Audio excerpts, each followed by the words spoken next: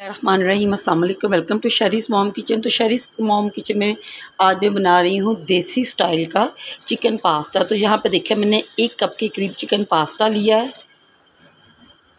तो यहाँ पे देखिए, मैंने मैक्रोनी को बॉईल करने के लिए रखा है और मैंने एक पैन में पहले पानी ले लिया था। तो यहाँ पे ये देखें हम लोगों ने ये देखना है कि मैक्रोनी आपस में चिपके ना। तो यहाँ पर तकरीबन एक टेबल स्पून के करीब मैं इसमें डाल दूँगी। कुकिंग ऑयल और बॉयल होने देंगे। तो यहाँ पे देखिए, मैं इसमें तकरीबन दो टेबल स्पून मैंने भर के इसमें कुकिंग ऑयल डाल दिए। इससे ये होगा कि हमारी मैक्रोनी आपस में चिपकेगी नहीं। अब इसे 80 परसेंट तक कुक कर लेंगे। फ्लेम को मैंने हाई कर दिया है। तो बीच में एक दो मरतबा चम्मच भी चलाएँगे। तो इसे बॉयल होते हुए तकरीबन पाँच से छः मिनट हो चुके हैं। चेक कर लेते हैं इसी नाइफ़ की मदद से। तो ये देखें, तकरीबन ये 80 टू 90 परसेंट कुक हो गए हैं। फ्लेम को ऑफ़ कर देंगे। इसे स्टेन कर लेती हूँ। यहाँ पे मैंने एक पैन ले लिया है। पैन में तकरीबन दो टेबल स्पून के करीब मैं कुकिंग ऑयल डालूँगी। तो कुकिंग ऑयल गर्म हो चुका है। अदरक लहसुन का पेस्ट हाफ़ टी स्पून है, ज़्यादा नहीं मैंने लिया। वो डाल दूँगी, क्योंकि मैंने जो मैक्रोनी ली है, वो तकरीबन एक कप थी। उसी हिसाब से अदरक लहसुन का पेस्ट इसमें डाल के थर्टी सेकेंड के लिए फ्राई कर लेंगे। और यहाँ पे मैंने तकरीबन डेढ़ सौ ग्राम के करीब लिया था चिकन क्यूब्स में मैंने इसे काट लिया था, इसे फ्राई करेंगे। फ्लेम को जहाँ पे आप मीडियम टू लो कर सकते हैं। चिकन का कलर चेंज होने तक इसे हम लोग भून लेंगे। यहाँ पे मैंने एक छोटा लिया था टमाटर, जिसे मैंने रफली चॉप कर लिया था।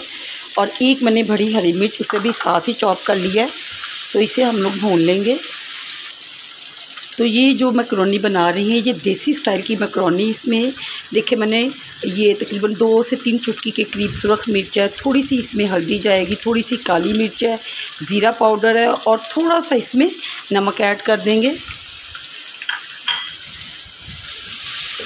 तो स्पाइसीज आप अपने हिसाब से भी एडजस्ट कर सकते हैं, कम या ज़्यादा। यहाँ पे टमाटरों को थोड़ा सा स्पैचुला की मदद से मैश कर लेंगे। अब इसमें ऐड कर देंगे वन टीस्पून के करीब सिरका, वन टीस्पून के करीब चिली सॉस और वन टीस्पून के करीब सोया सॉस। इसमें पानी डालने की ज़रूरत नहीं है। इन सॉसेज में ही ये चिकन गल जाएगा। मीडियम फ्लेम किया हुआ है मैंने। अगर आपके पास चिली सॉस नहीं है तो आप तीन से चार टेबल स्पून के करीब आप टमाटो केचप का भी यूज़ कर सकते हैं।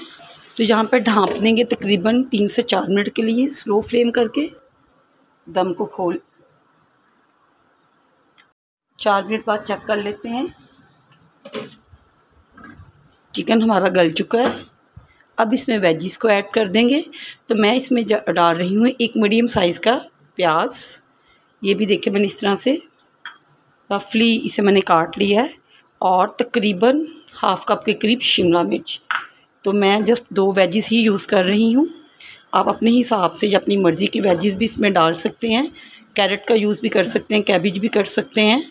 तो बस इसे हम लोग पका लेंगे तीन से चार मिनट कि इसका क्रंच रहे, बहुत ज़्यादा इसे गलाएँगे नहीं तो फिर अच्छी नहीं लगती हैं। तो यहाँ पे तकरीबन मैंने तीन से चार मिनट वेजिस को फ्राई कर लिया था। अब यहाँ पे देखें मैंने मैक्रोनी को जब बॉईल किया तो उसके बाद मैंने ठंडे पानी से इसे अच्छे से मतलब वॉश कर लिया था, इससे ये चिपकती नहीं है तो यहाँ पे इसको अच्छे से मिक्स कर लेंगे। तो ये जो है पास्ता या मकरोनी सॉसी सी बड़ी मज़ेदार बन के तैयार होती हैं। तो आप इन्हें बना सकते हैं, अपने किसी भी मेन्यू में सेट कर सकते हैं। दावतों पे अगर आपको मेरे चैनल की कोई भी वीडियो अच्छी लगे तो प्लीज़ उसे लाइक एंड शेयर करें। और बेल के बटन को दबाना मत भूलिएगा। आपको फ्री ऑफ़ कॉस्ट सारी मेरी वीडियोस मिलेंगी। तो यहाँ पे बस ऑलमोस्ट हमारा ये पास्ता रेडी है। जस्ट मैं इसको मिक्स करके दो मिनट के लिए दम पे रख दूँगी। ज़्यादा देर के लिए नहीं तो फिर से डिश आउट करते हैं। तो यहाँ पे दो मिनट का दम हो चुका है। तो इसे खोल लेते हैं। माशाल्लाह से बड़ी ज़बरदस्त खुशबू आ रही है। इस स्टेज पे अगर आप चाहें तो आप एक्स्ट्रा सॉस डाल सकते हैं। मैं केचप का यूज़ कर रही हूँ। तो इससे बड़ा सॉसी सॉसी हमारा पास्ता रेडी होगा।